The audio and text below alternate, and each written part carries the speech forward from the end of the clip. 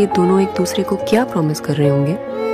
मैं वचन देता हूँ कि महीने के पंद्रह दिन खाना मैं बनाऊँगा।